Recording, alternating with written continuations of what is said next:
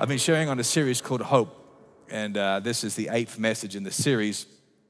And uh, this one is called Faith Tested. Have you ever felt your faith tested? Yeah. Uh, maybe you're in a position or a place right now where you feel you're being tested. Mm-hmm. Stanley Baldwin was the British Prime Minister in two terms 1923 to 1929 and 1935 to 1937.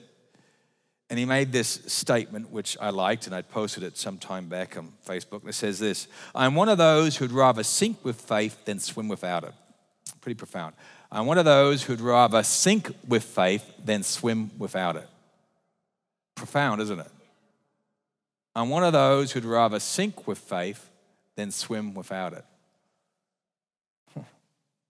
I, I, was reading, I, I digress, I, I, read a little bit this morning, uh, and it was the original founder of um, Time magazine, the original founder. Uh, he was about uh, eight, right about 1893, don't hold me to it, died about 1967, give or take, or 1883, died 1967. And he's the original founder of Time magazine. And he says, a lot of people think that, and I'm paraphrasing it, a lot of people think that Time magazine is the originator of biographies and stories of people. But I'd tell you, it all began with the Bible. I really like it. It's amazing how, when you look back at the beginning, how far it's digressed today. Okay, that's just me. I'm not a big fan of Time magazine today, okay?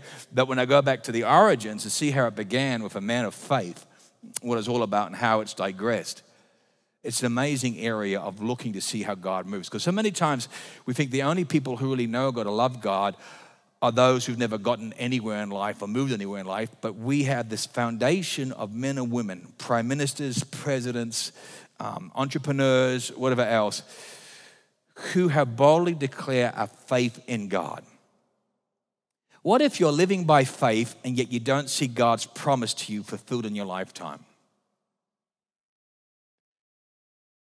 I, I believe that the goals I should set, I set goals like this. I have a one year goal, I have a five year goal, I have a 10 year goal, I have a 20 year goal. And what I learned is a 100 year goal. That was from your friend. A 100 year goal. When I first heard that, how many years ago was that? Eight, ten years ago? Eight years ago? Huh? Not, no, 15. When I first was challenged with the idea, do you have a 100 year goal? It really challenged me because I do not plan to be here in a 100 years' time. God have mercy.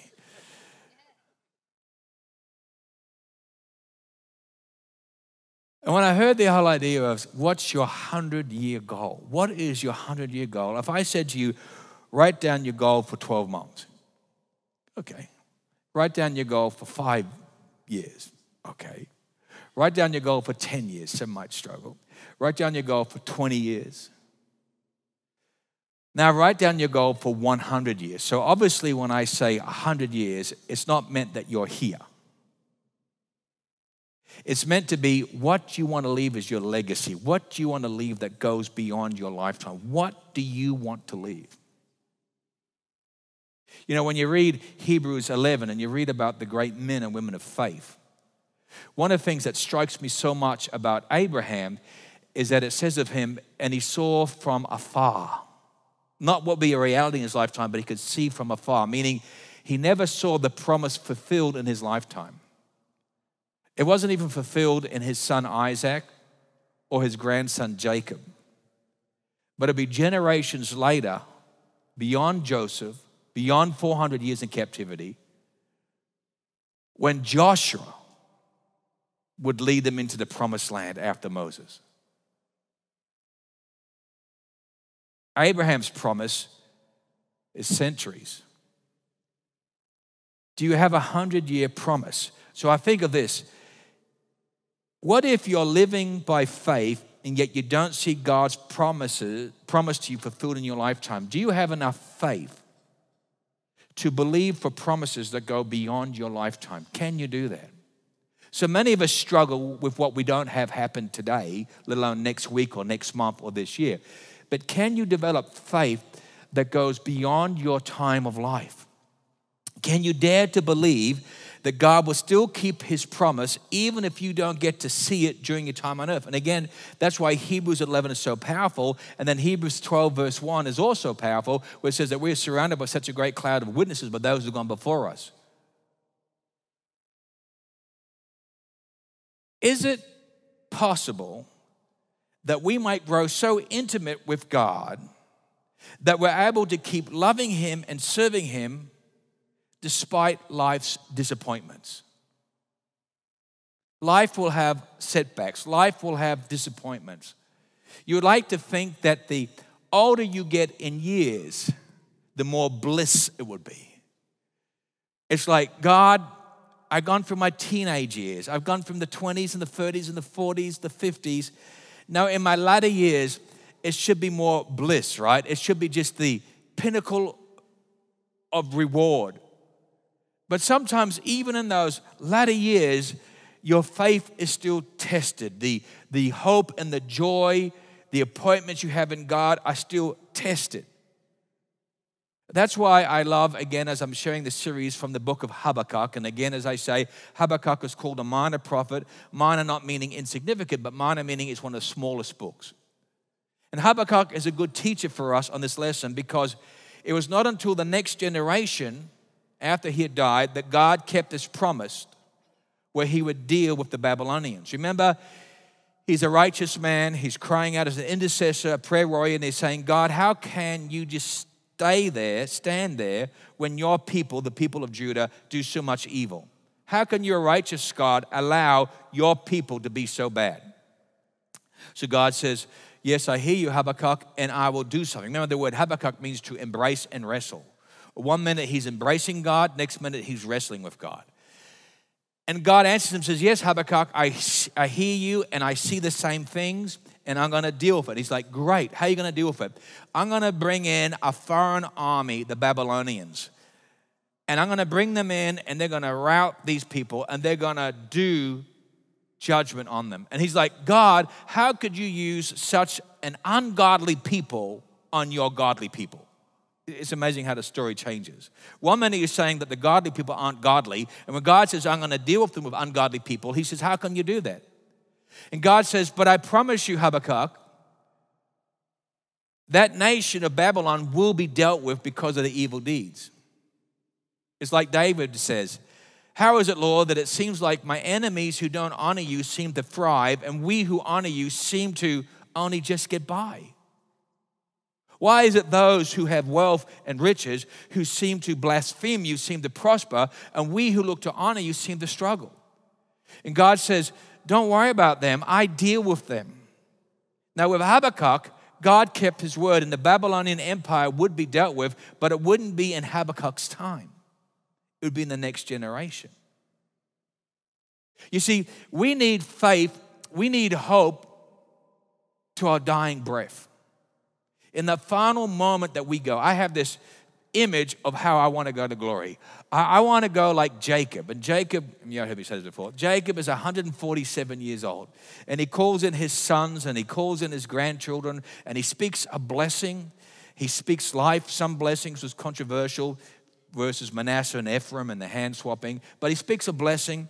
Then he tucks up his feet and he says, Goodbye. The only person I ever kind of seen in reality do that was uh, Pastor Brad Payne's mother. What was her first name again? Irene. And I, I always remember how Irene went. Irene uh, was in hospital and uh, it was her final moments, and she called in all the family, and I think she brought them in individually as well. The grandchildren of both sides, it was Pastor Brad's children and Pastor Brad's sisters uh, children, and she brought them and she speak words. Some of the words were the most encouraging, and some of them were sort of like a like get it together. Uh, it, it, was it was really challenging. And then after she'd done that, then later that night she went to glory.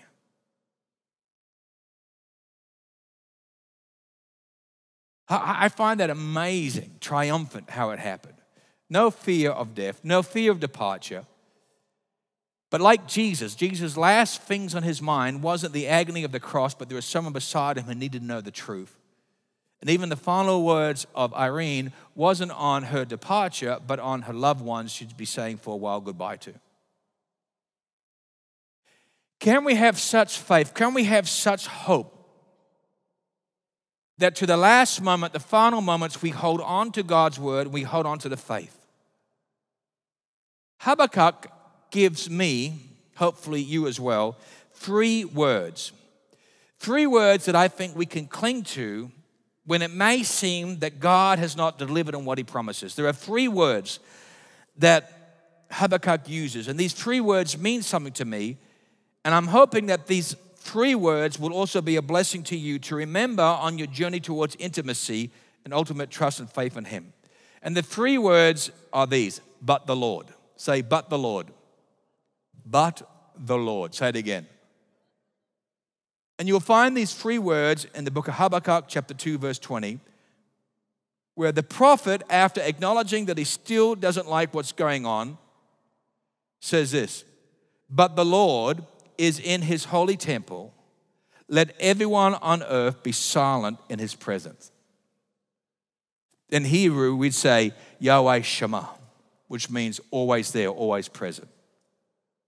Yahweh Shammah. And Habakkuk is saying here,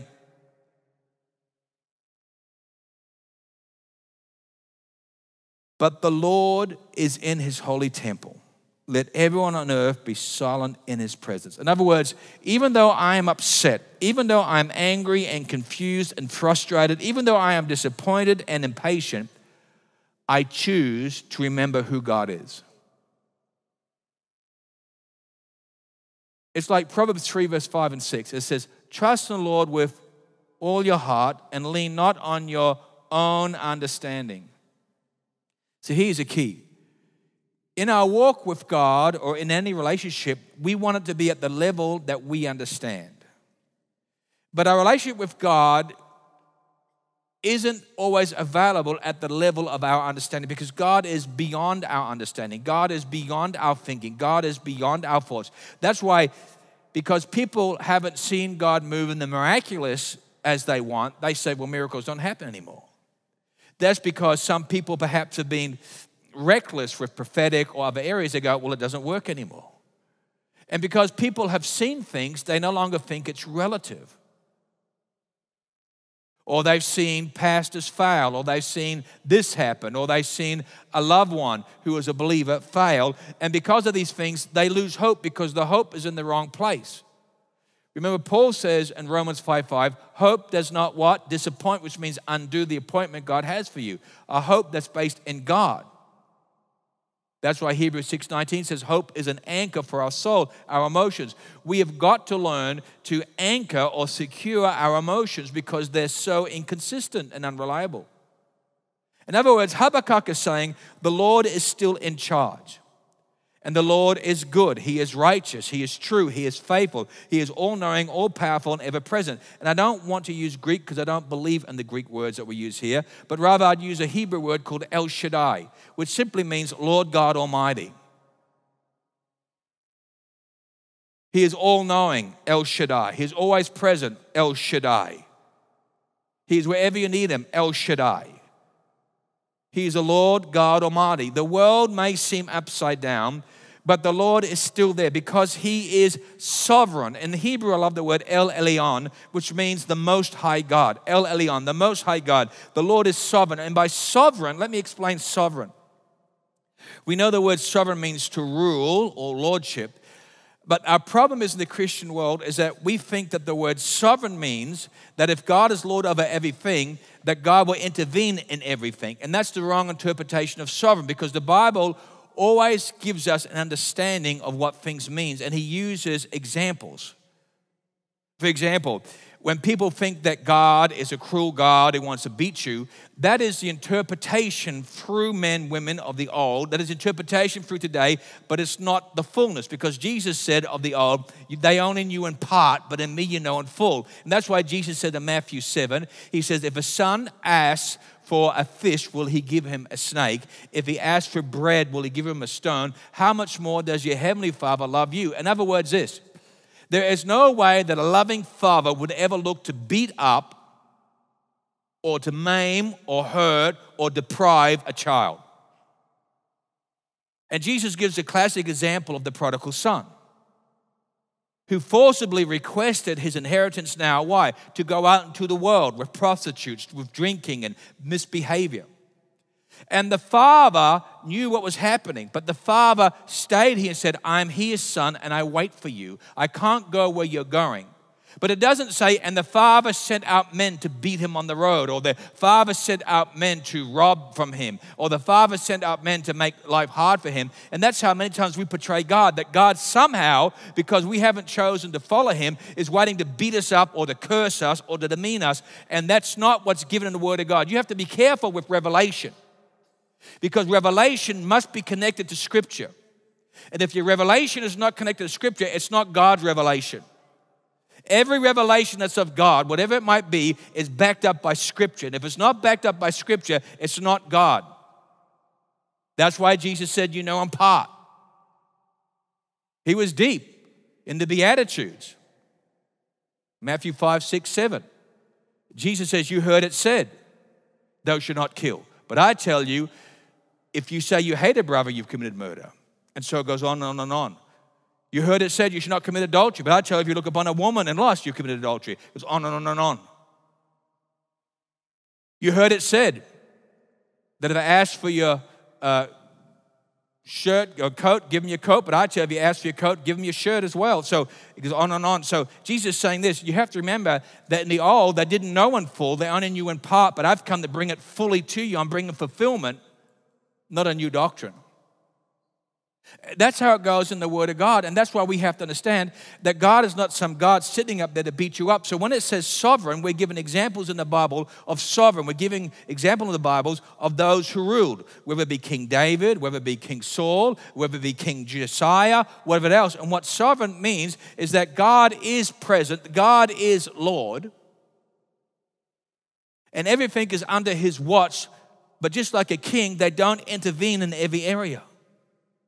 That's what it means we say God is sovereign. God is Lord. We have to call out to Him. We have to stand in faith in Him. We have to sometimes make sacrifice in Him. But He has a plan, a much bigger plan than we can see. So the sovereignty of God is bigger than what we can see, it's bigger than what we can understand or acknowledge. So when I say God is sovereign, you say, well, if God is sovereign, how come I'm battling? It doesn't take away that God's sovereign. He is still Lord in your situation. He is supreme in all wisdom. He knows the end from the beginning. We are just His created beings, we're just His creation. We have to understand that He has everything under control. That's why El Elyon, that He is the Most High God. And sometimes our faith is tested until it feels like hardly anything is left. And some of you have gone through life, and I've talked to you, some of you have gone through life, and your life has been so tested that you almost feel like you have no more faith. And that's what I'm sharing about tonight for a few minutes. Faith, believe. Faith, belief. Faith as a noun, belief as a verb. You might say, I believe in God, but do you have the substance of faith in God? You might say, I have the substance of faith, but do you believe the way you put it in action? See, this is how it marries together. This is what I love about Jesus and his teaching. He said this if you just have faith as a speck, as the size of a mustard seed, we can move mountains. So that faith is not the action, but it's a substance inside you that says, I believe. It's a substance. It's before you do it, it's I believe. It's a substance within you. If you want to believe, putting into action, and you're pressing in with all your might to move towards knowing God and trusting Him, then this is where faith evolves. If you want faith, if you want faith to be your very substance, if you want it proclaimed of you as a noun that you are a man or woman of faith, then it has to be the very thing in your heart that allows you to keep believing by practicing it. What if wanting to believe is enough? What if that tiny bit of barely noticeable faith is still pleasing to God or so pleasing to God? What if simply wanting to believe is the mustard seed of faith? Think of the father with his demon possessed son. He said, Lord, help me to believe. Help me in my unbelief.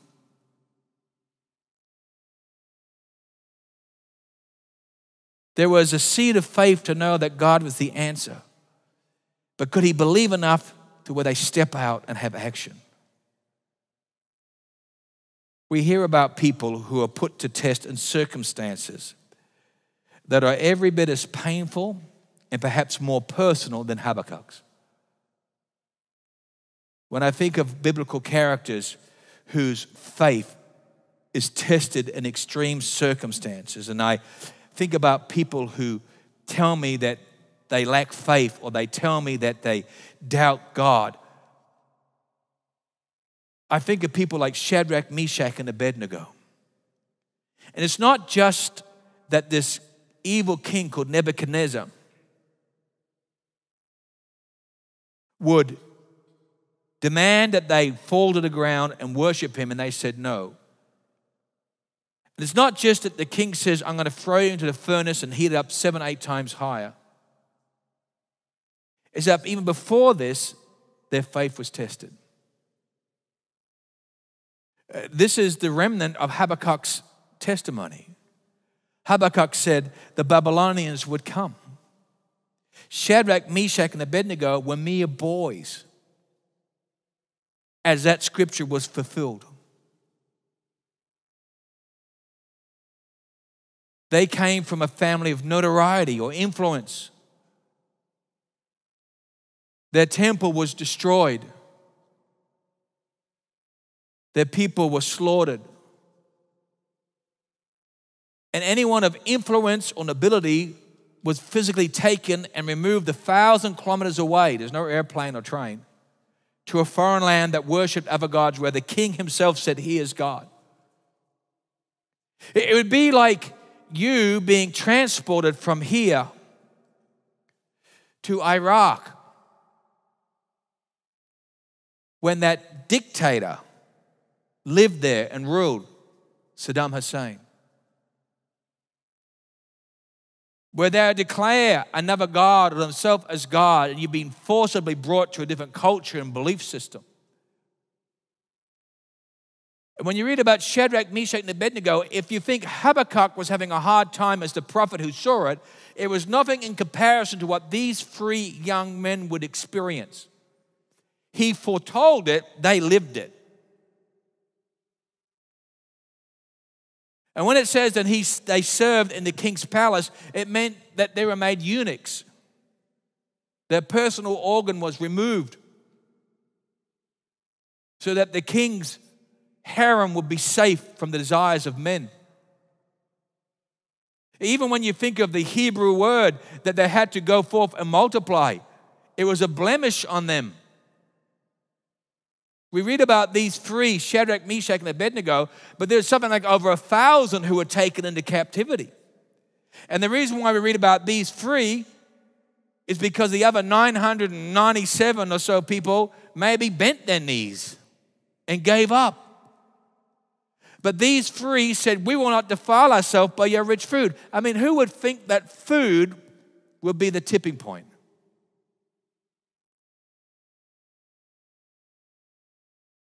As the Muslims have halal, the Jews have kosher.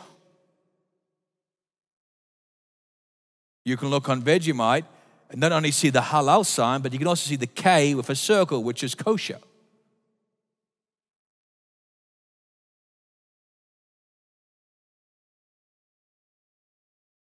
And for all of a sudden being in a foreign land and going through the humility of disgrace and what was done to them, never to be able to return to their land, they were commanded to eat the rich food. Now, many would say, well, you know what? Who cares? You know, what's wrong with a little bit of pork? What's wrong with a little bit of meat? What's wrong with a little bit of wine? What's wrong with a little bit of this? For what we've gone through, who cares? Look at the other 997. Who cares? With what we've gone through now, us dying is insignificant. Who cares? See, that's always the problem. We say, Who cares? And yet in the book of Isaiah, it says, And the Lord's eyes go to and fro over the earth, looking to see whose heart is towards him. When you get tempted to throw it in, when you get tempted to give it up, when you get tempted to say, forget about it, I want you to be reminded of the scripture in Isaiah that says, And the Lord's eyes go to and fro throughout the earth to see whose heart is towards him. You see, you don't see it or you don't know it or you don't comprehend it, but the Spirit of the living God moves throughout this earth to and fro. And when you go for the agony of disappointment, when you go for the agony of defeat, when you want to quit, give up, withdraw, or no longer be uh, a part of, What is it that pulls you away? Is it hurt? Is it disappointment? Is it anger? Is, is, is, it, is it offense? Is it the desire for money? Is it desire for success, ministry? What is it that pulls you away?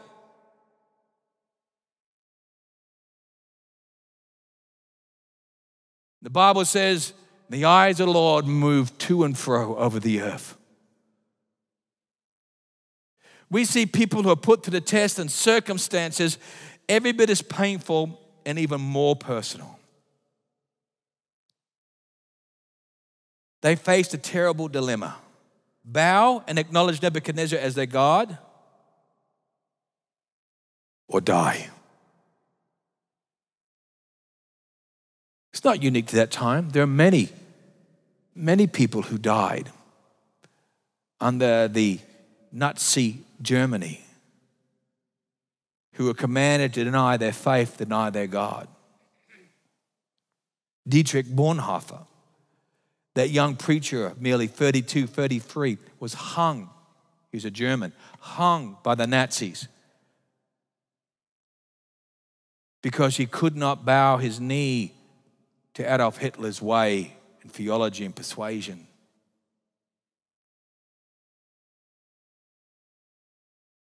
Yet the very literature that Adolf Hitler used in hating the Jews came from a man of God that we celebrate, Martin Luther.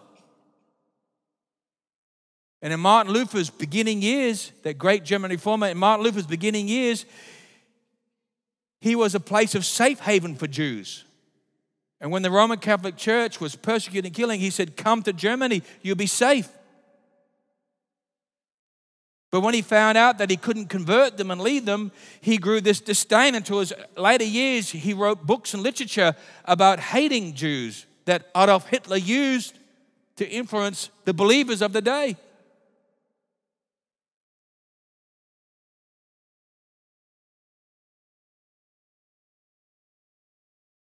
Our lives are our responsibility before the living God. Nebuchadnezzar said, Bow down and worship me instead of your God, or we'll throw you into the fiery furnace.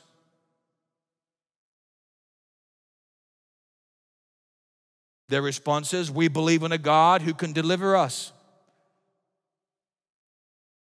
But we don't always understand God because He just might not. We believe in a God who can deliver us. But then again, he just might not because look what happened in Jerusalem. Look what happened to his temple. Look what happened to his priests.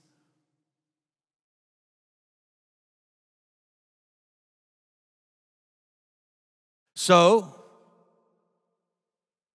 it's better to burn than bow.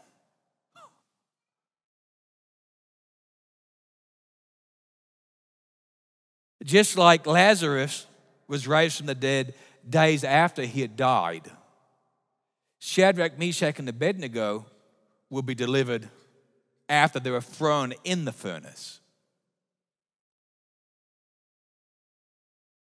Sometimes it's past the hour, it seems. It's past the moment. As it was for Lazarus and Mary and Martha were doubting Christ, as it was for Shadrach, Meshach, and Abednego when it might have seemed that things were too late. God is still God, and God is still moving, and God is still Lord. El Elohim. Yahweh Shammah, the Lord is always here. When you have nowhere else to turn, when your own ideas and resources have evaporated, when your control of a situation is in shambles, it's Yahweh Shammah. God is there. God is present. Yahweh Shammah. God is present. He is always present. When your knees ache from kneeling in prayer, and you can't tell if he's listening. God is still there, Yahweh Shammah. When people laugh at you and mocking your faith, Yahweh Shammah, God is still present. When your knees ache from kneeling in prayer, but you can't tell if he's even listening, Yahweh Shammah, God is there. When people laugh at you and mocking you, God is there, Yahweh Shammah. When you don't know if you can make it another way, God is there, Yahweh Shammah. And when the voice of your enemy is whispering to you that you should just give up, Yahweh Shammah, God is there, God is present. The word for God is El or Elohim, which means powerful God, mighty God. El Shaddai, the one who's able to meet you in your need. But the most powerful descriptive name for God is Yahweh. Don't get caught up with that word Jehovah because it's not a Hebrew word. Yahweh. And it really means covenant. It means covenant. You can always see the word Yahweh in your Bible if you see the word Lord spelt with capitals capital L, capital O, capital R, capital D. That's Yahweh. When you read Genesis 1 and you read about God, Elohim, so God, G O D, is Elohim, it's not personal, it just means powerful and mighty you'll never see that used on its own towards man. But when you read about Adam and you read about Eve, then you read about how Lord or Yahweh is always there.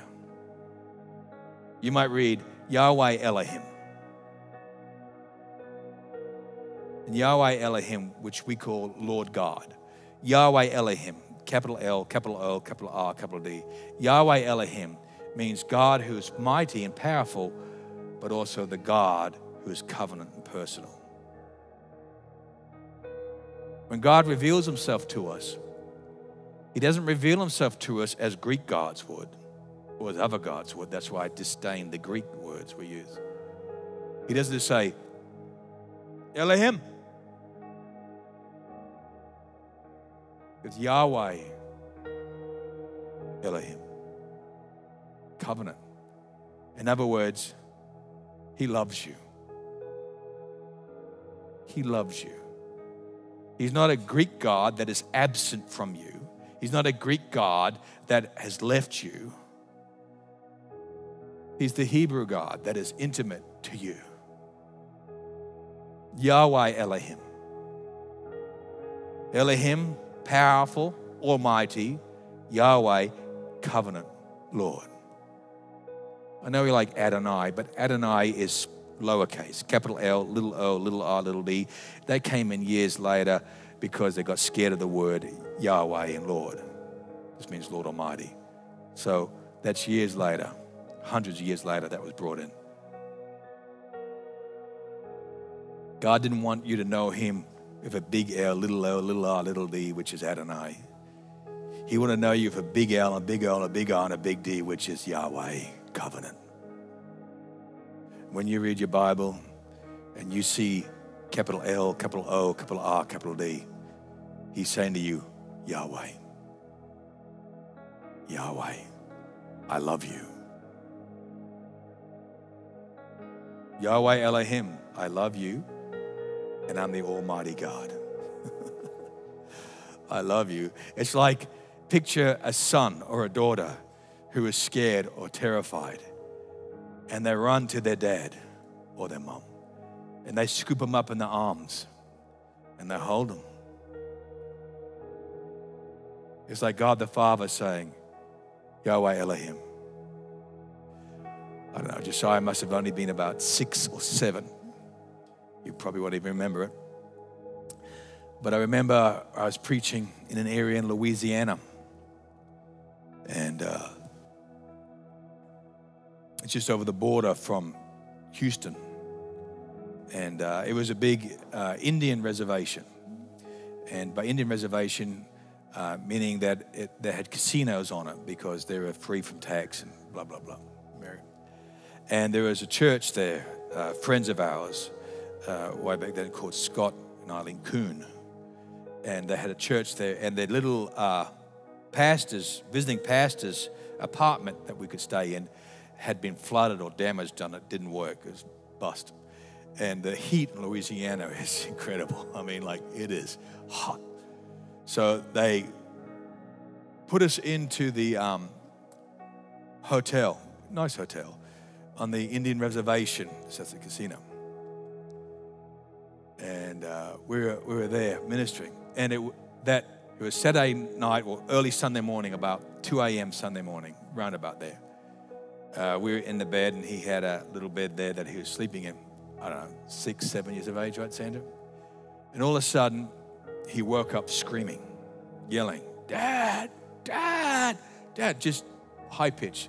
I mean, so high, I'm surprised managers didn't come to the door.